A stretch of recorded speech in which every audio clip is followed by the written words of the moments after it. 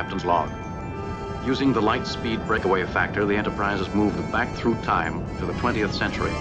We are now in extended orbit around Earth, using our ship's deflector shields to remain unobserved. Our mission? Historical research. I have visual contact, Captain.